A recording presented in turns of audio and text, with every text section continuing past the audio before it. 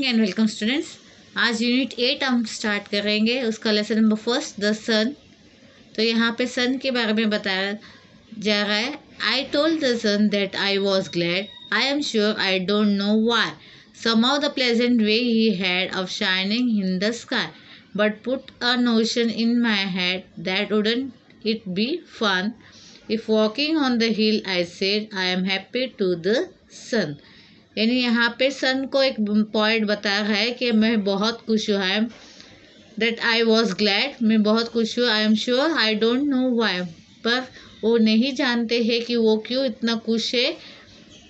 Somehow the pleasant way he had of shining in the sky मतलब यहाँ पे कि it's a pleasant way that the sun is shining in the sky just put a notion in my head that wouldn't it be fun if walking on the hill I said I am happy to the sun यानी वो सन को बता रहा है कि वो बहुत खुश है।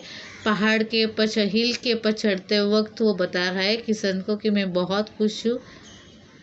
And that's what it is said in this poem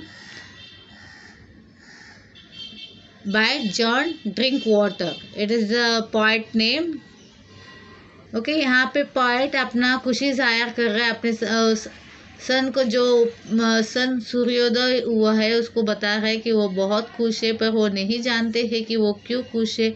The pleas somehow the pleasant way he had of shining in the sky तो उस तरह वो अपने अपने आप अपनी खुशी वो ज़ाहिर कर रहा है, सन को बता रहा है, यहाँ वहाँ जाते हुए। It is mention in this poem now let's see over this rhyming words यहाँ पे आपको राइमिंग वर्ड्स चुनना है। वाई का क्या होगा? स्काई वाई का स्काई होगा। फन का सन होगा। You can see over here glad का हेड होगा और हेड का सेड होगा। तो this is the rhyming words of the poem see in this picture, see the Question number three. Look at the picture and fill in the blanks using words given in the bracket. Eating, climbing, singing और shining ये आपको options दिए गए और यहाँ पे नीचे चार पिक्चर दिखाए गए हैं।